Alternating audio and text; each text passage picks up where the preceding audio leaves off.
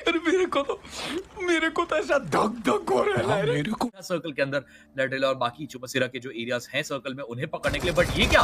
Team godlike versus team XSpark एक drop class scenario shadow उन्हें समाप्त किया जाएगा। ड्रीम्स के what is this happening team godlike हल्की दिक्कतें उनके लिए बढ़ाई। एक्सपार्क एक्सपार्क ये नहीं रुक रहे। एक और टीम के अगेंस्ट हमें आते हुए देखने को मिल जाएगा वो कोई और गॉड लाइक के बाकी प्लेयर्स रहने वाले अगर आप देखिए पोजीशन वाइज तो बहुत बड़ा गैप है। जी गॉड एक अलग एंगल में जॉनथन एक डिफरेंट एंगल पे नियो एक अलग दुनिया में।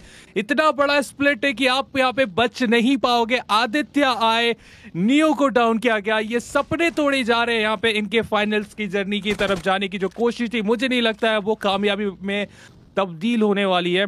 फ़िलहाल जी गॉड और जॉनथन केवल दो प्लेयर है, एकजुट होने की कोशिश कर रहे हैं। आप इसी की तरफ़ से आ रहा फाइट नजरअंदाज नहीं कर रहे, वरना अक्सर स्लो फाइट की तरफ़ जाते थे सीधा एंट्री करेंगे और एंटिटी गार्ड को फ़िलहाल वहाँ पे डाउट किया जाएगा और बड़े आराम से मुझे लगता है वहाँ पे उन्हें फिनिश भी करते हुए देखने को मिल जाएगा। बट जी के ट्वेंटी एक ग्रोनेट फेंकेंगे विस्गॉट डाउन होंगे।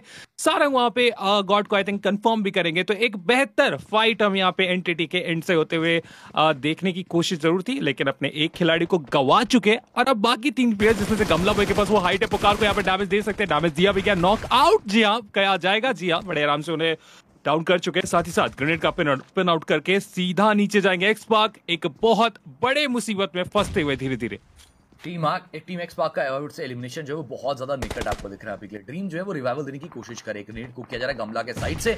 प्रयास रहेगा करेक्शन ढूँढने का डैमेज दिया, लेकिन प्लेयर को ओपनली निकलता। देख के आप समझ चुके अंदर एक खिलाड़ी ज़रूर से रिवाइवल दिया गया था, पुकार हीलअप कर तो रहे बट वो नीड अगर रिबाउंड करके चल जाए तो चीज़ें खराब होंगी। आउट आएगा पुकार के ऊपर, और एग्जैक्टली वही सेम स्ट्रेटजी बट वही सीक्रेट भी आपको साथ साथ एंटर करते देखेंगे ज़रूर। दोनों साइड के प्लेयर्स को बाहर। सारंग अकेले बचे क्रॉस सेटअप है, सारंग निकल ही सकते, बाहर एक को डाउन किया, सारंग निकल के बच के कैसे? Sarang can get the last one Sarang he would get he would get the last one too Sarang कैसे? एक क्रॉस फायर सेटअप को कट ऑफ़ करके जीत के जाएँगे। टीम एनडीटी को भी बाहर टीम एक टीमें हमारी तरफ़ आए, और वो स्वागत करने के लिए वहाँ पे तैयार खड़े हैं।